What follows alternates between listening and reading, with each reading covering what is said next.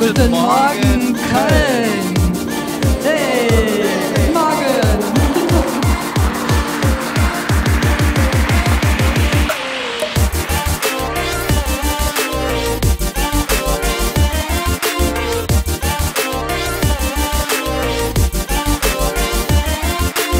Wir stehen jetzt hier und sprechen über die Stadtsache. Was ist die Stadtsache? Die Stadtsache ist eine App, die ein Werkzeug ist, um die Stadt zu erkunden. Was ist deine Rolle bei der Stadtsache? Meine Rolle ist die Entwicklung, also App und Server. Das war's eigentlich. Ja. Wie ist die Idee dazu entstanden?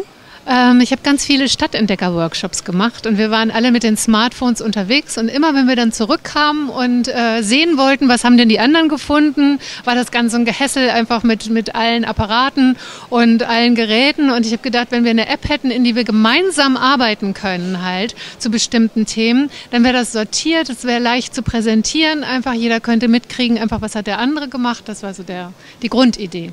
Hm? Wie funktioniert das? Ist das wie ein Container, der äh, in der App dann quasi eröffnet wird? Ja, wir nennen das Sammlung. Also das heißt Sammlung, da können halt äh, Gruppen ähm, ihre Fundsachen reinsammeln und äh, sortiert nach äh, bestimmten Fragen. Mhm, ja? genau. Oder auch selbstdefinierten Fragen oder vorgefertigte Fragen. Es gibt halt zwei Methoden, äh, sich der App zu nähern. Einmal die öffentliche Version, da sind halt die ganzen, also sind halt schon viele Fragen äh, verfügbar. Entschuldigung.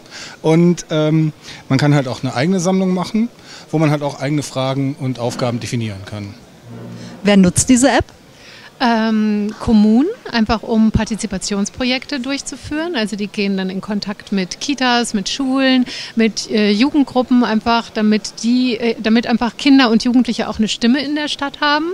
Oder eben auch Schulen, die damit Projekte machen, Projektwochen zum Beispiel.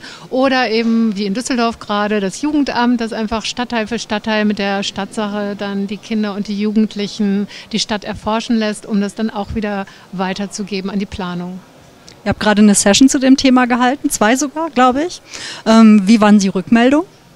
Ähm, ja, also das hat genau, genau das ausgestrahlt, einfach schon in der Vorstellungsrunde, wie unterschiedlich die Themen sind. Da sitzt dann derjenige, der ähm, mit, mit geistig behinderten Kindern arbeitet einfach und eine Anwendung sucht ähm, zur, zur Verortung von Stadt draußen, einfach die, die leicht zu bedienen ist. Oder es äh, ist die Spanischlehrerin dabei, die gerne einfach ein, ein, ein binationales ähm, Thema machen möchte, in dem einfach in Spanien einfach einfach äh, Fundsachen gesammelt werden und eben in Köln Fundsachen gesammelt werden halt. Dann äh, gibt es einfach die Lehrer, dann gab es die Touristenverbände irgendwie. Also genauso breit ist es eben und das ist einfach, weil es ein Werkzeug ist und man damit einfach äh, ziemlich maßgeschneidert auf seinen eigenen Wunsch hinarbeiten kann, wenn es darum geht, Dinge zu verorten. Die, ja. Bist du selber auch ein Stadtwanderer? Nein, ich bin ein Schreibtischsitzer. Du bist die Stadtwanderin. Ja, ja, genau, genau. Ich bin immer die, die unterwegs ist und die ähm, ja, die Stadt untersucht und andere gerne dazu anregen möchte, das auch zu tun. Super. Wir schicken die beiden wieder raus ins Digital Education äh, Day Camp. Oh Gott, ins Bildungscamp. Danke für euch. Gut, dass und ja,